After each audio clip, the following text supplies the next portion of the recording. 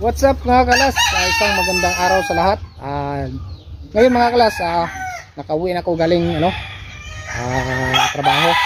Ngayon dito na ako ngayon sa ah, bakasyon bakasyon ko ngayon. Ngayon na dito na ako ngayon sa aming munting backyard farm dito sa amin. Ngayon ah ikutin ko lang yung mga manuka namin kasi Siyempre, matagal-tagal na akong nasa trabaho. Si, uh, lang, 9 months yung kontrata ko.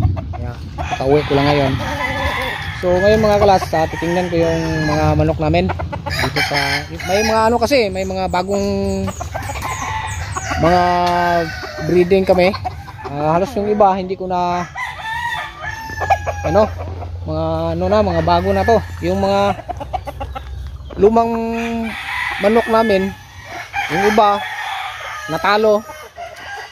Yung iba panalo. Ngayon mga bago na to ngayon mga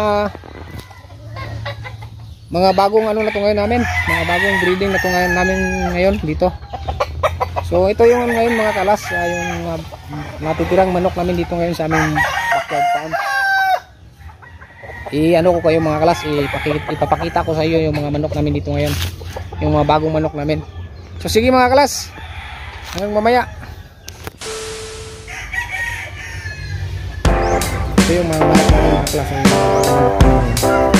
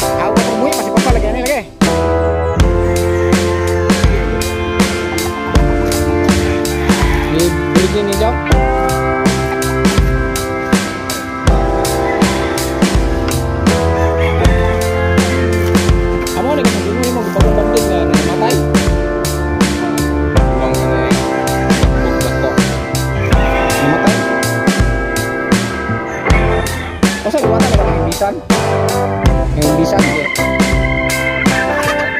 Hah? Ada yang eh,